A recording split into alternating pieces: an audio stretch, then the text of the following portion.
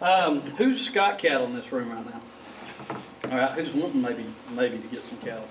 I'm gonna mostly focus on beef production tonight. I'm not gonna go into the dairy industry. Uh, I'll talk a little bit about Holstein feeder calves and stuff like that, but, uh, um, dairy industry is a totally different, uh, beast, if you wanna say it. We have about twelve dairies left here in Washington County. When I started ten years ago, I think we had 31, 32 dairies. Uh, say ten years before that, we would probably said hundred and twenty. Uh, you know, when it went from grade C to grade A and all that good stuff. Um, but besides an extension agent here in Washington County, I have my own cattle. Uh, I grew up in southern Greene County. I kind of got married a few months ago. That's what they say. So I moved to the northern side of the county. So, however that works. But anyway, we don't see each other that much. She's a teacher and I, she's an ag teacher at that. So she has a lot of FFA things. So she understands and I understand. So that's how it works out. But I've got about 95 mama cows that I run uh, in Greene County. So mostly commercial Angus.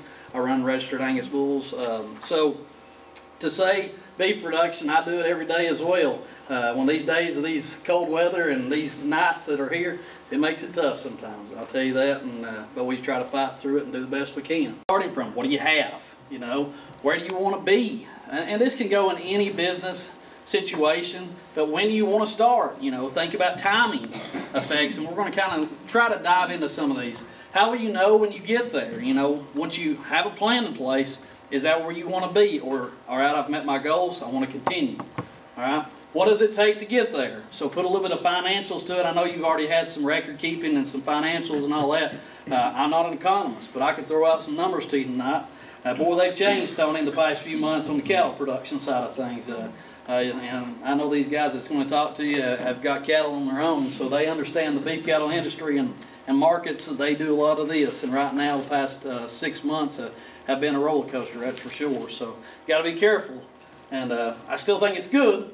It's just it was really good for a while, and uh, we kind of got down a little bit. So, I'm by no means going to sit up here and tell you I predict the future because uh, that's been the wrong thing to do here lately. So, common essentials for raising cattle. I don't know this is common sense, but some things you got to just think about land, owned or rented. You know, if, if you don't have much land, uh, you know, if, if you can work out deals with your neighbors and, get a good relationship, renting's not a bad deal. Um, I'll tell you, the county average here in Washington County is about twenty to thirty dollars per acre per year on a rented pasture and hay ground. Now, I'll tell you, the variation is about zero dollars to one hundred and fifty dollars per acre per year. You start getting into specialty livestock and all that stuff. Uh, uh, row crops, you can get into 200 $250 per acre per year. But, you know, that's that's totally different. But typically, we do uh, we do have resources that'll say 20 to $30 per acre per year is what rented prices are. Stocking rate, huh, that's another one. You can uh, you can argue that all day. I'll tell you, um, soil has a lot to do with it. What forages you're being, able to raise on your ground, how moist it stays. There's a lot of differences there. The old saying is uh, two acres per cow calf. I would say uh, it's anywhere from two to three. Uh, some people will, will push that hard and hard and hard, but again, they're feeding a lot of hay, feeding a lot of feed. Um, I've seen a lot of situations two head per acre.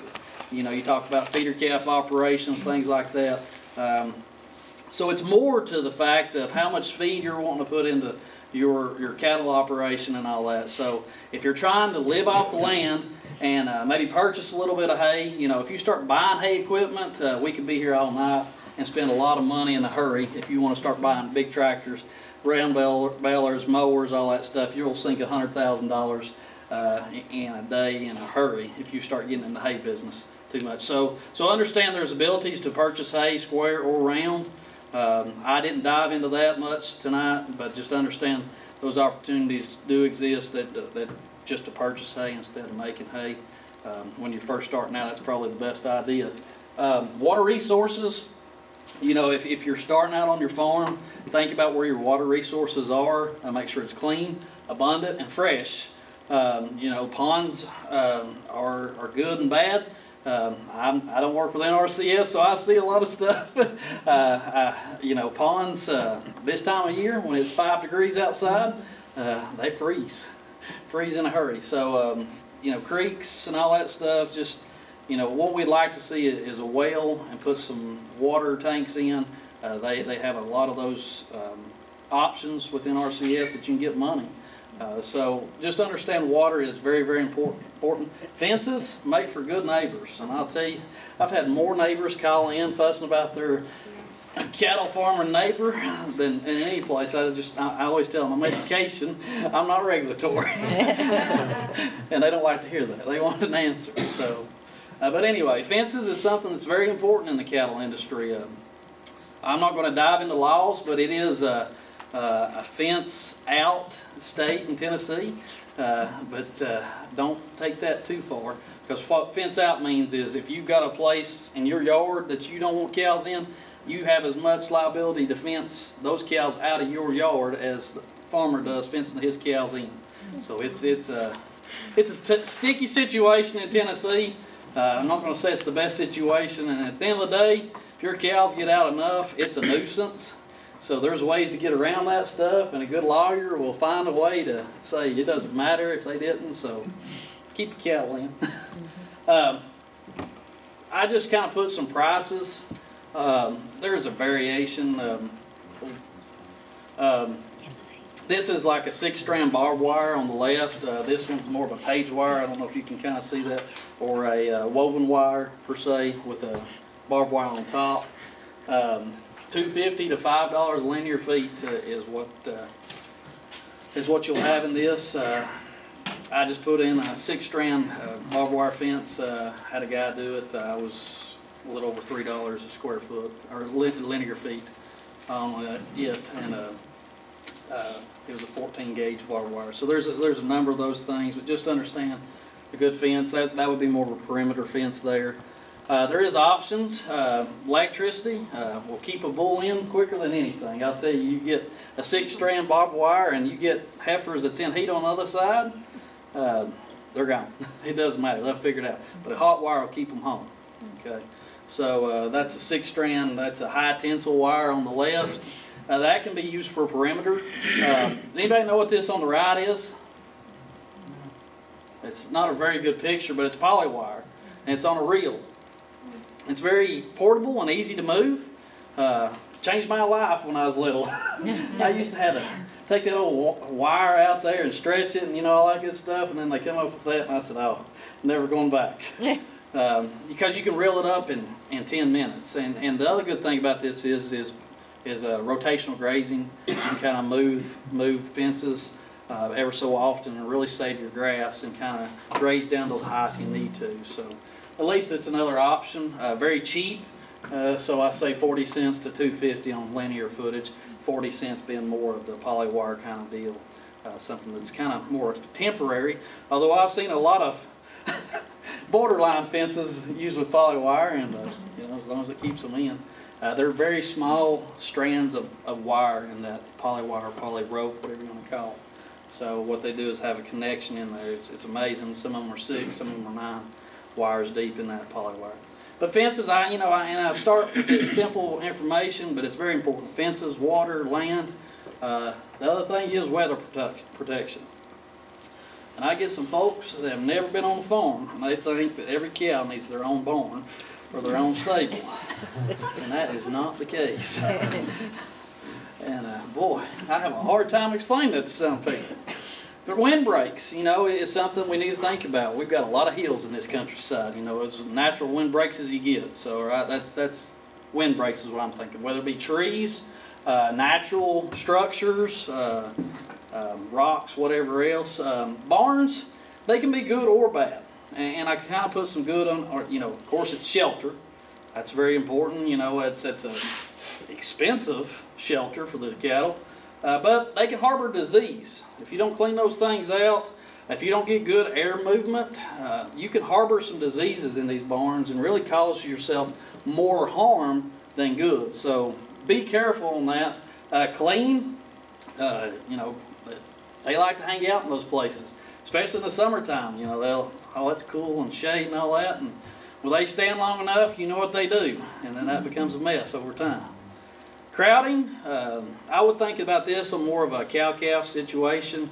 Uh, you got little calves running into some muddy situations in the barn, and all of a sudden, you know, you get some weather like this, and uh, you got a cow laying on a calf, and all of a sudden that calf dies because you crowded them in there. So just understand, uh, there's only a limited space in those shelters, so just, sometimes natural trees, uh, windbreaks and all that's, it's just as good, if not better. Uh, cedar tree will go a long way in, in this weather that we got right now. Um, this, as you can see, I pulled two or three slides out of our Advanced Master Beef. A lot of this information I'm telling you tonight, you'll see if you happen to take Advanced Master Beef or whatever, this in much more detail. I'm gonna hit the high notes, um, and please tell me when I'm about five minutes before. Um, handling facilities, this is being able to work your cattle, load your cattle, you know, those are pretty important. You can't just turn them out and say, okay, I'm gonna lasso you and we're gonna bring you on home when we wanna sell you, you know, that don't usually happen. So you need to think and plan these things out. And holding pens is just an area, what it says, is being able to sort the cattle or bring them in, whether it be crowd panels or whatever. Crowding pen, it's an area that allows the cattle to be funneled into a working chute. All right, and your working chute is that narrow area right before you go into a squeeze chute or a working facility capable of capturing their neck, being able to give them shots, or if they're labor and labor and having trouble, you can go behind them and do your thing. Working area, that's uh, where they can be strained. Just talked about that. There's a number of them out there. There's blue ones, yellow ones, green ones, red ones, all kinds. Uh, from fifteen hundred dollars to fifteen thousand dollars, you know, so there's a big expense to those, sometimes more than others. Loading chute, I would say this is just an area that you can think about where you're gonna be able to load your cattle. In a good place, where some sturdy ground, um, something that doesn't stay moist a lot. Uh, maybe you need to rock a little bit and be able to get your, um, trucks in. Types of cattle operation, all right, now I went all through this little tidbits of what we kinda need or think about to get started. Uh, but I wanna talk about there's different types of cattle operations and, uh, put a little name to it. And I thought that was kind of a pretty little picture of some black calves, maybe I'm a little partial.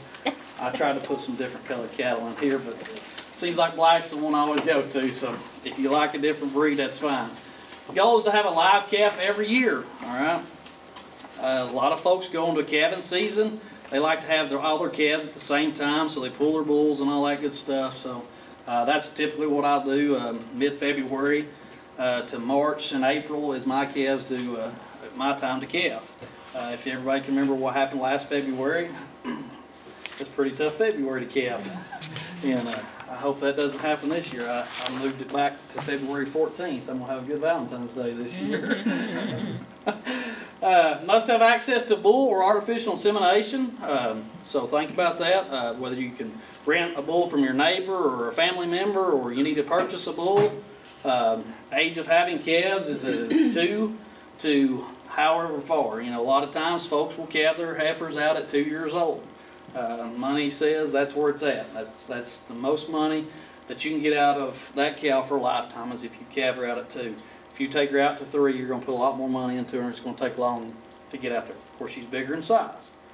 So purchase from reputable sellers. Um, you know, if you're gonna purchase uh, cows, you know, you purchase from someone that you know or trust, or someone that you, uh, that, uh, that you know that they know somebody, you know. Um, there's a lot of guys out here that will see you coming in a hurry, uh, if you've never been in the cattle industry. So just understand there's special sales, there's sellouts. Uh, the Washington County Cattle Association, I'm their advisor.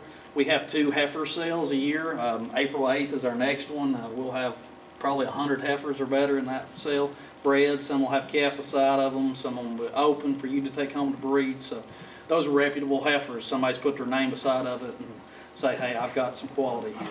So, uh, same thing with the bulls. Um, you know, bulls is something that you need to purchase from a reputable source. I just worked a bull sale on a video bull sale today. Uh, average was thirty-one hundred dollars for the bulls.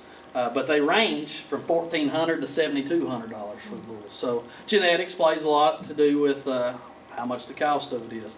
Uh, the, the look of it, there's EPDs, which means what that bull's gonna do. I've got numbers to tell you, is it gonna be calving ease or is it gonna grow a lot, those calves? So we can put numbers to those. Heifers, um, the heifer market's all over the place right now. I'll tell you, uh, on average, heifers back in November was two thousand dollars for uh, breds. Uh, Pairs was almost three thousand, well, actually, we're over three thousand. I'll tell you, today's market, you're looking at somewhere fourteen to two thousand for heifers, probably somewhere in that seventeen hundred, sixteen.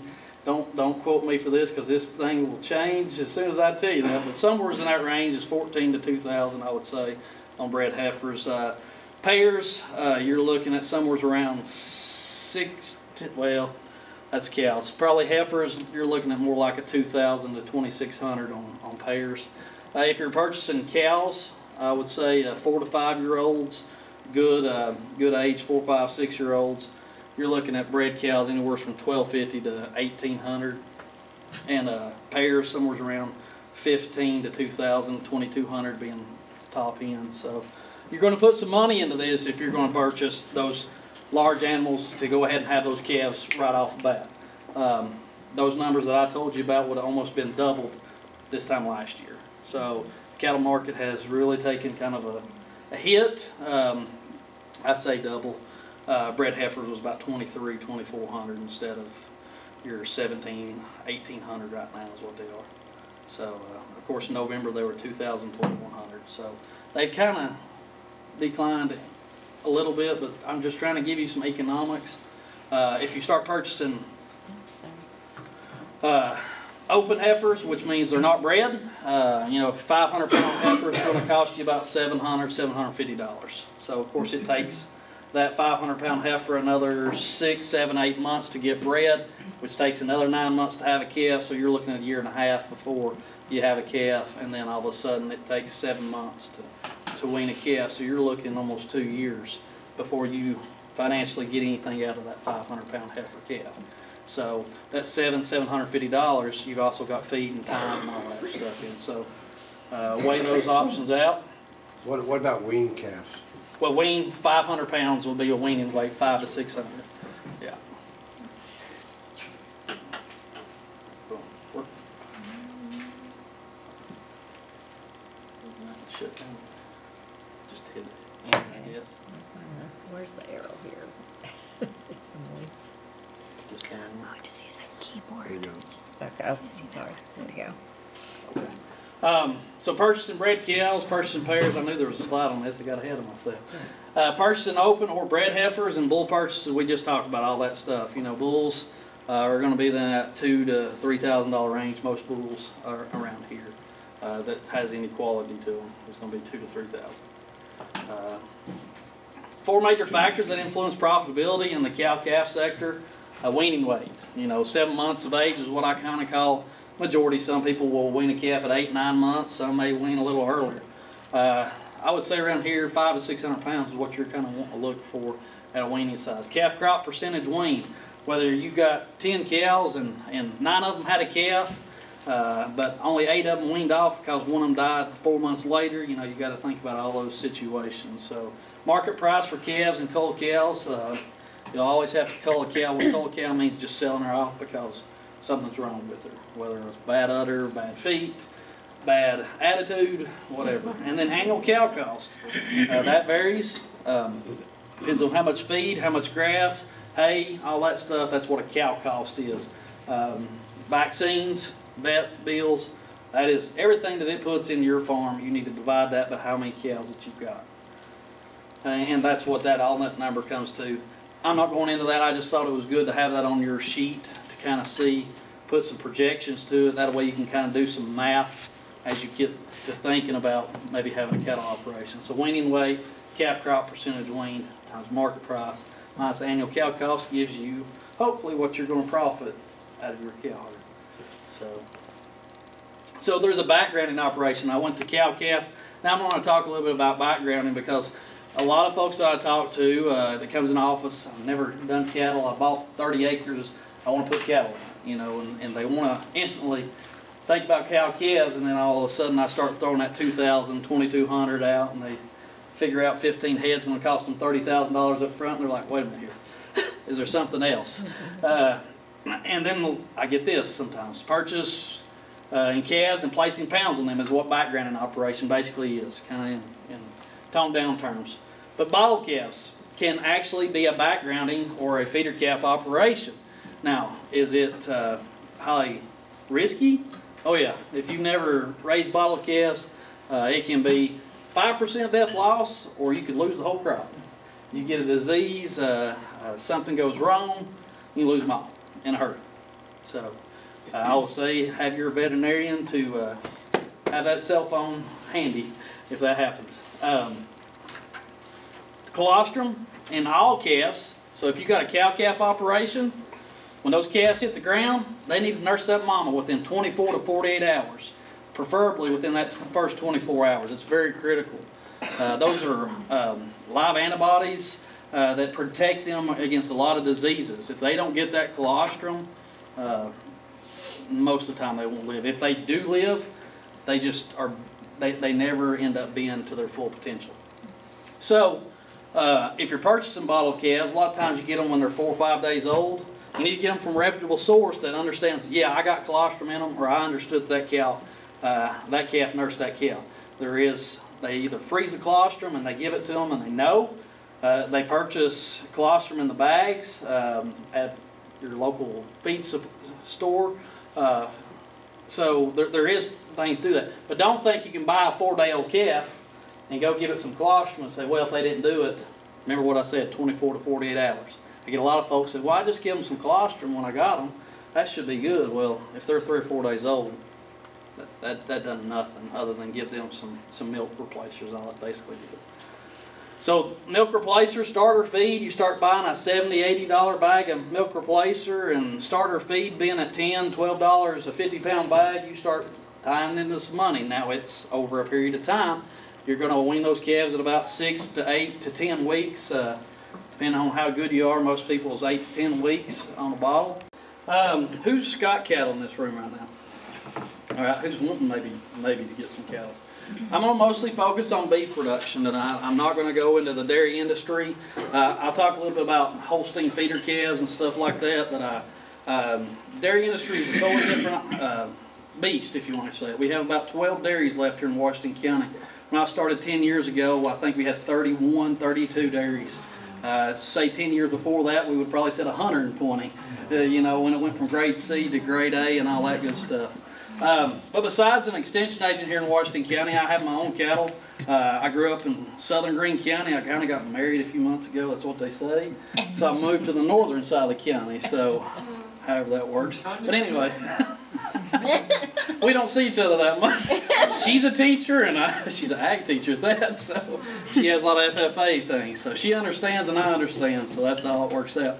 But I've got about 95 mama cows that I run uh, in Greene County. So mostly commercial Angus.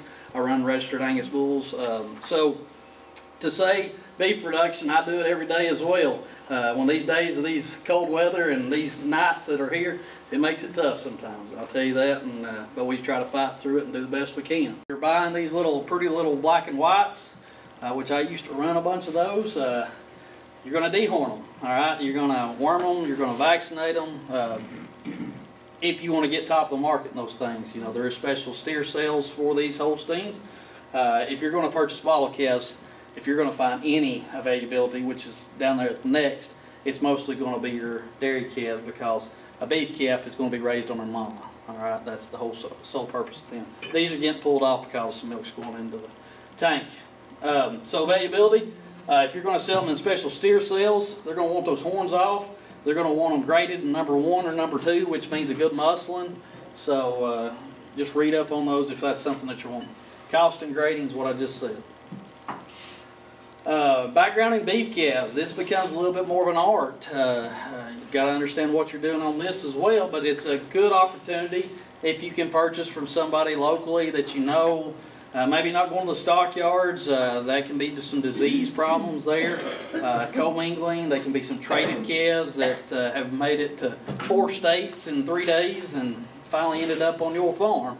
Uh, those things do happen sometimes. But the, the understanding of this is a lot of folks like to uh, purchase a few calves in the spring and sell them in the fall. Now, I'll tell you what, the um, market dynamics on, on that, Tony, is not always the best, is it? You know, when you're purchasing high price in spring, because everybody's got grass, they're wanting those high dollar young calves that's going to put pounds on. And typically, eight to nine times out of ten, fall is your lower times. The past year or two, has been different, but I guarantee you, uh, well, last year was not different, but two years ago was very different. But so understand risk as far as prices. If you're if you're buying high in spring and selling low, that's kind of defeating economics, right? Buying high, selling low. It's supposed to be buying low, selling high, right? So so if you do buy low and sell high, when is that? You're buying in the fall and selling in the spring. So what do you get to do all winter long? You get to feed, right? in this. So that's the whole purpose of why they're buying them a little cheaper is to go through the winter time and you got to have some feed resources or, or something. So sickness, I would put that on my top of my list is understanding uh, vaccinations are, are key. Um, better facilities, if not dairy calves. If you're not purchasing dairy steers, which are pretty easy to keep at home, keep at bay, but you start weaning calves off of mamas, they've had a good life most of their life if their mama had some milk to her. Uh, so they feel pretty good. If you take them away from mama, they're gonna find a way to try to find mama. It don't matter if they can't hear her. They're gonna, if there's not a good facility and not a good fence, uh, these calves will try to find an alternate place. I don't care how good you think you are to them. Uh, that's just nature of beef calves. Price volatility and risk, uh, market trends, study those a little bit if, if you're thinking about doing this. Uh, and available feed resources. If you're gonna do a fall to spring kind of deal, uh, you're gonna have to probably have some supplemental feed. The good thing about the spring to fall is typically grass and maybe a little bit of ground feed uh, will take you a long way with those calves. Just understand market volatility could play into those things. With all this being said, I've not talked about markets. I'm not going to talk about them much tonight. Uh, they're out there, market opportunities once you sell calves and cattle. Um, stock barns is one place. Uh, uh, there is some commingling groups that you can sell with other people uh, into load lots. Most of our cattle are shipped out west. Some of them are shipped up north. Uh, but anybody, can anybody tell me how many thousand pounds goes on a tractor trailer load of cattle? Anybody tell me? I know there's two or three in this room that can. Forty-eight to fifty thousand pounds. So it's not really a number of head; it's a number of pounds, right? Because they're going to stick them on there and get that as much weight. I mean, it's still a trucking dynamics. They want to hit as many pounds as they can before they get turned back on the scale. So 48 to 50,000 pounds. So if you're selling a 700 pound calf, uh, that would be um, 70 calves, 49,000 pounds. So it's hard to buy 70 calves uh, on today's market. Uh, so just understand we've got some opportunities maybe to, to market with other folks as well. Uh, replacement heifers, this is another thing that people like to do sometimes, buy a five or six hundred pound heifer, developer, whatever, um, breeder. Um, you can develop heifers for producers, whether it's beef or dairy. You know, that, that was a good thing for a lot of folks when we had a lot of dairy farms around. Dairy farmers didn't have enough time to replace or develop their own heifers. They, they paid somebody else to do it, you know, and that's how they develop. Well, beef cattle, the same way. There's a few people that develop heifers for, for other people. Uh, you can develop heifers for sales. We have some folks in our heifer sales. uh, They pick out uh, 20 heifers, well, 15 is their max, so 15 heifers out of their group of cattle. I'm going to sell these heifers. They're going to your sale in, in April. You're, they're going to your sale in November, and we have a lot of repeat sellers that develop for our, our sales in, uh, in Washington County. Uh, must be bred to a calving ease bull. I don't, you know, whatever you're doing, uh, it doesn't necessarily have to be an Angus bull, but just understand if you're doing dairy heifers, uh, well, the good old days of breeding to a Holstein bull for these heifers about finally gone away with that, and they're going to an Angus bull or a Jersey bull or something like that. That's a lot more of a calving ease. Reputation is key for success. I'd say that's in the cattle industry, any other industry as well. Um, you're putting your name to what you're marketing, especially with these heifers. Now, reputation is key because in our, our sales, we put your name beside of those heifers. Uh, if you brought, try to bring heifers back next time and you didn't bring good ones next time, those folks will remember. Will remember in a hurry. Um, seed stock, that is registered. That's when you have a purebred, uh, whether it be Angus, Simmental, Charolais, throwing out a bunch of breeds. Um, genetics and reputation. You need to understand what genetics are. Um, you can't just go out and buy two cows and say, I'm in a registered business, uh, and not understand the dynamics of that. Uh, uh, if you don't have an understanding of someone that can AI your cattle or at least play the genetics games, um, your reputation is never going to get to that point. we've got some very good breeders in the area. I'll tell you, some of the best in the state when it comes to registered cattle in here, and uh, and they make good money, but they spend a lot of money too. You know, they don't go out and buy the three thousand dollar bulls to breed their cows. They're going out and buying the thirty, forty thousand dollar bulls, fifty thousand dollar bulls. Um, ET and AI. Anybody know what ET stands for? Embryo transfer. That's where they're taking an egg out of one great cow and putting her in a subpar cow, and they can put a lot of genetics out there of that particular great cow. All right, and AI, of course, is artificial insemination. It's taking that hundred thousand dollar bull that I can't afford. I'm gonna pay thirty dollars for a semen straw, and I've got about a sixty-five percent chance that that cow's gonna get bred by that hundred thousand dollar bull. All right. Bull and heifer markets, um, you need to study those. Because you're, as, as a seed stock producer, you're gonna be selling to people that are breeding commercial cows, just grade cows, not really registered. And heifer markets, you know, uh, uh, that, that's your two big potentials. You're not probably gonna take these registered calves and take them to a sell barn, you know, regular stockyard. So you've gotta understand bull and heifer markets. Breed variation, uh, sale prices, um, genetics, um, age of puberty, all that is breed variation is, is a huge deal. And I will tell you, I, I keep going to Angus, but in this area, uh, that breed, and I'll tell you most of the country, uh, Black Angus has hit. Um, they're- just way ahead of the game. So it's okay to pick another breed, but understand your bull market, your heifer market is not going to be what those black Angus are. I mean, it's I don't care how good genetics are, you are. I've seen some really good Polled Hereford bulls today, thousand dollars cheaper than, than the black Angus. It just is the way it is. Not to say that they weren't good Polled Hereford bulls. It just it's, it's where it was today.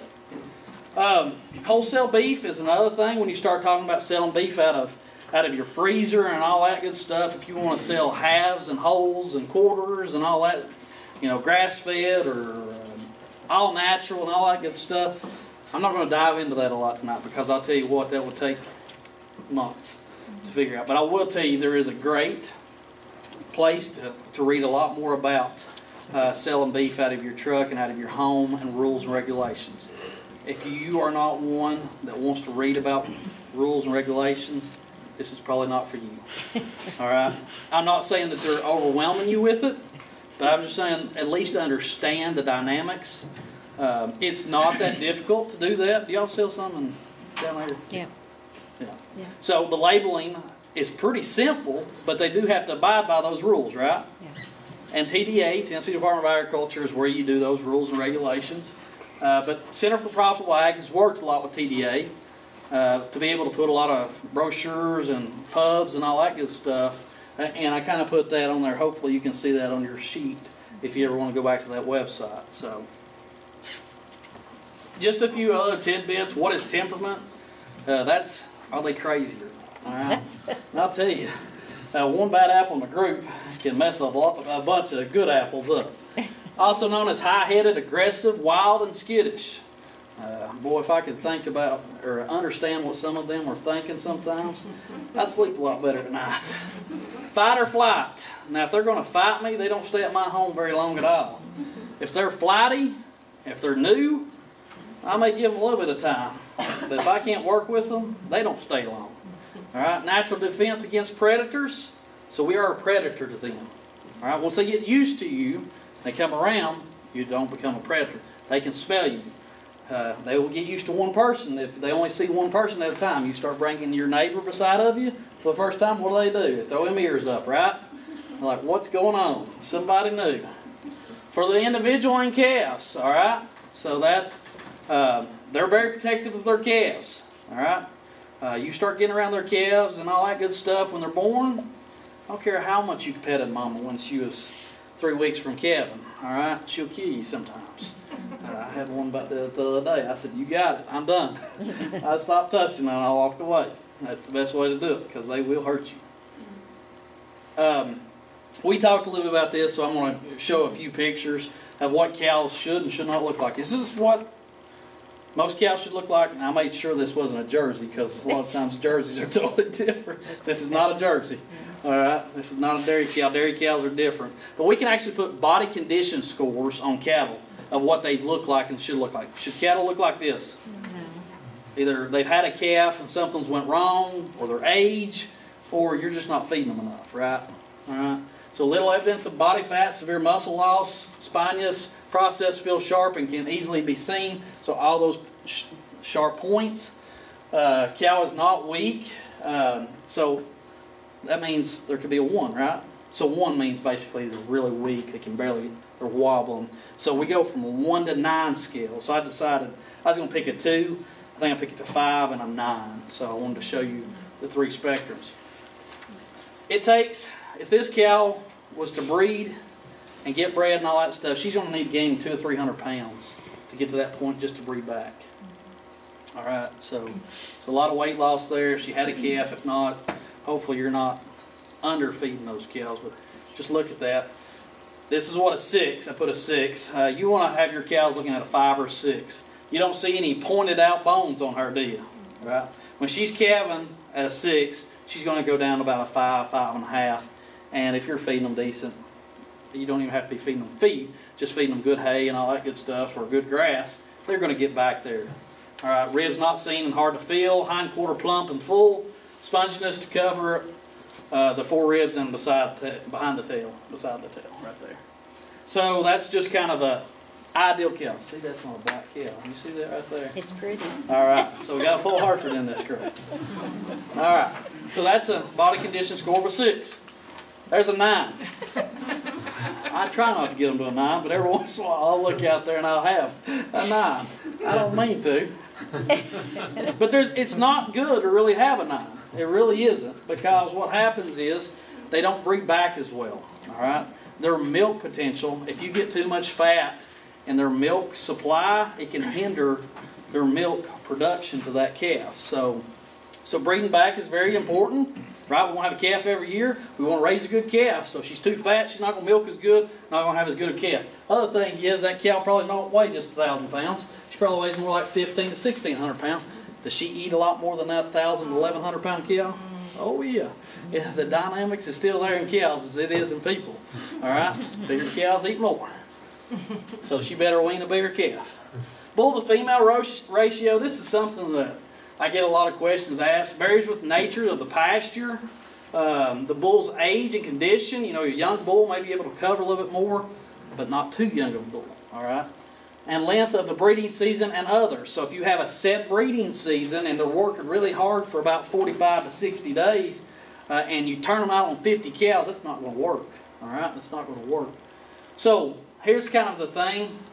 The rule of thumb is one female per months of the bull's age up to 36 is the useful rule of thumb. Now, we try to say a yearling bull, which is 12 months old, be careful on him. If you've got to use him as a breeding bull, five or eight cows would be the most of a yearling bull. So we really like to say 16 to 18 months of age uh, bull, you can start using 15, 16, 17 uh, cows at that point in time. So 18 on, I would say, is, is that point. So if you got a four-year-old bull, hopefully he can cover 35, 36 cows. Now, again, there is some variations, but that is a good rule of thumb. So I dip back to the cow calf a little bit. Breed of bull, there's more variation between bulls than between breeds um, to a certain extent. However, low birth weight English breeds. So if you're interested in learning more about breeds, look up English breeds. May have an advantage over continental breeds. Continental breeds are bigger boned, larger muscled. So if they're bigger bones, that means their babies are bigger bones, and they got to go through a hole about like that, right? So if their bones are bigger, that hole don't get much bigger. All right. So English breeds just have a smaller bone structure, but if you get good genetics, those English breeds can grow, for the most part, as, as well as, as continentals. Uh, so calving difficulties. If you've never done it before, you need to talk to somebody that has. A vet. Uh, lighter calves are born easier than heavier ones. Uh, larger heifers will have them better than e- smaller heifers. Sometimes I, I question that, but uh, that was uh, something that we had put together. Uh, generally using genetically low birth weight sires is the easiest way to prevent calving difficulties. So understand if you're purchasing a bull, say, is this easy calving bull? Is this something I'm gonna have problems calving? So they'll, if a producer's uh, has sold registered cattle long enough, they'll understand in no time what you're talking about uh, birth weights. Research has not shown shape of the calf to predict calving problems, so they're still no evidence of that, of being able to figure out, oh, the shape of the calf inside there is gonna, it's gonna be easy calf and ultrasounds and all that. Um, so forage is cheap, right? Grass, hay to a certain extent, but I'll tell you, hay has gotten a lot more expensive over the past two or three years. Uh, we had a really dry year last year, which kind of rose prices up. There was a lot of trucked in, in hay. Uh, but it's that's your success as a cattle operation. You need to understand forages, uh, fertilizing your fields, uh, whatever else. Um, so pasture hay must be of adequate quality and quantity. Um, is this good quality hay? What's growing on top there? Grass. grass seed from the hay that they build up, right? So that means the quality, that hay was pretty ripe, so it's, it's growing another crop on top there, so it's getting double dose, right? It's stored outside, right? Stored on the ground. I know you can't hardly see this, but calves or cows have got in there and been able to eat what they want to, all right? So they're wasting a lot. So understand that this is pretty valuable. Don't want to waste as, as much as we can. Uh, so here's some some just kind of things that I put on there so you can read it as we go. I know I'm probably getting close to time. Um, this one, is this saving hay? Can everybody see this? And I'll tell you, there's certain times of year it's almost hard to avoid. I've got two acres of concrete and I've still got mine. but this is not mine though. this is not mine, I promise you. All right, manage hay feeding. Uh, use your hay range. Use some some areas that, that doesn't have a whole lot of mud pit. Does cattle would cattle gain well, or would they they be healthy in this situation? Well, no. They're they're they're they're putting a lot of their energy to fighting, kicking up that mud, and walking through that mud. So, um, in situations, if you're calving out in really cold weather, unrolling some of those hay bales uh, to give them some bedding and and uh, warmth uh, during these kind of situations might be okay. Cut strings, especially if you've got those uh, old uh, um, plastic strings, because as soon as you don't do that, bush hog will catch them, or the disc mower wheel, and you'll be out there saying, "What did I do last winter?" So make sure you do that. Mis- miscellaneous tidbits, and and again, I could have spent 10 hours on this thing, but I just thought of a few things. Identification is one thing. Ear tags, you know, number system, whatever works for you is fine. If you want to ear tag them, um, it's good. It's a good Sorry. situation. I'm a, I'm a mover, that's for sure. Uh, identification, um, you don't see any brands, freeze or hot brands much around this area, so uh, most of the time, this guy has a S49. Um, whatever. It, it, that's up to you on how you do that. Just number it in a situation, keep your record keeping, keeps up. Uh, if you're having a calf hit the ground, uh, at least understand it'd be nice to identify those calves. Vaccinations, I'm not going to dive into vaccinations. I did print off a copy. That is uh, from one of the veterinarians at Mountain Empire.